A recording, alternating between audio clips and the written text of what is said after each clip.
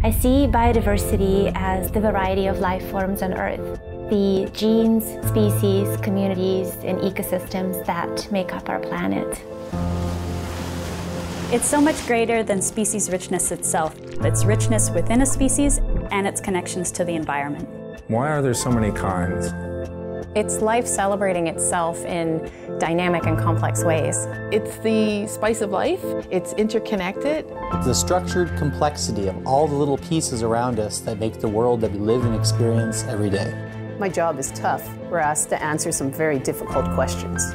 I study beluga whale health, and I look at the way they use their habitat as a way of understanding ocean health. My focus is taxonomic and functional diversity of faunal communities in eelgrass beds.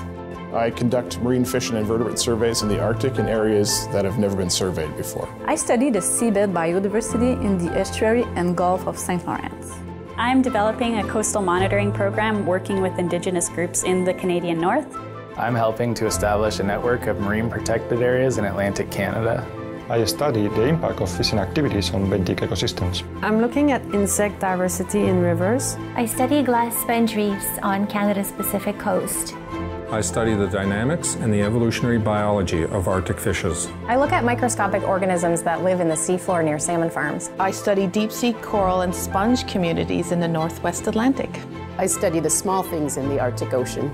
I feel like I'm helping to tell a story. It's a story about change. There's always something to discover. Unexpected species will show up. Change in marine species ultimately affects us all. Because it underpins the structure and function of our natural ecosystems. It's keeping the balance and it's keeping species in check. So we can predict how ecosystems will respond to change by understanding the implications of species loss. It's important to study biodiversity so we don't lose biodiversity.